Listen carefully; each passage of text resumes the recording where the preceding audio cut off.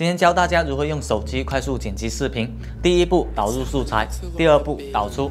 好了，那以上就是本期玩色分享的全部内容。如果你喜欢，Hello，各位好，欢迎来到玩色，我是泽宏。相信很多朋友都会用手机去记录生活，但是可能会在视频剪辑这一关被困住，可谓是拍摄一时爽，后期火葬场。那随着各种 AI 算法的加注，一些手机剪辑软件也增加了一键剪辑的功能。那本期视频就来给大家分享一些具有一键剪辑功能的 App，大家也可以先把你们自己觉得好用的剪辑 App 分享在弹幕上，我看看大家都在用什么剪辑软件。那第一个推荐的 App 是这个唱片，它简单到直接导入视频，系统就会自动给你匹配好合适的模板。如果模板不喜欢的话，还可以重新挑选。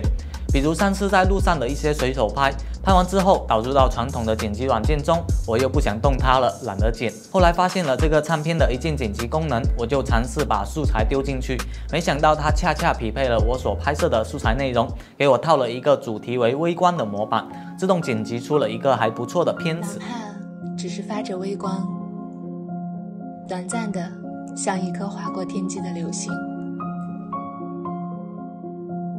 但在注视你的人眼里，这一瞬变成了永恒，甚至比亘古不变的星辰更珍贵。怎么样，还不错吧？神奇的是，它能识别出每个视频片段中最精彩的部分。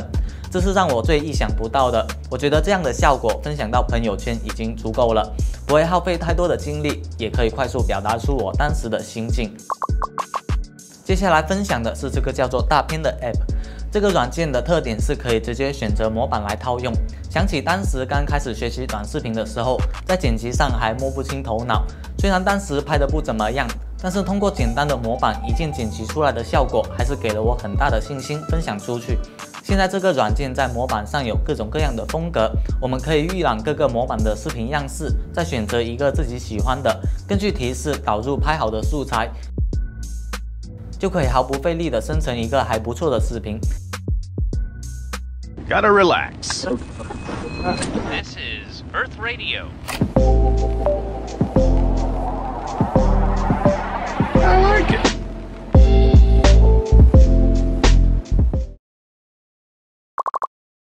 最后分享的是几个设备厂商他们自己研发的 App，这里面有大疆的 DJI Mimo、智云的 JYK Mi、Insta 三六零的 Insta 三六零、GoPro 的 Quick 等等，没有他们家的产品也可以下载来使用。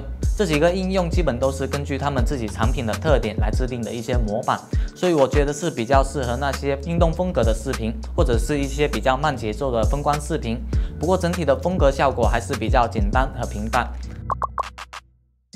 那今天的分享就是这些啦，我只能带你们到门口了，最终还是需要你们自己走进去亲自体验，还有挖掘更多的功能。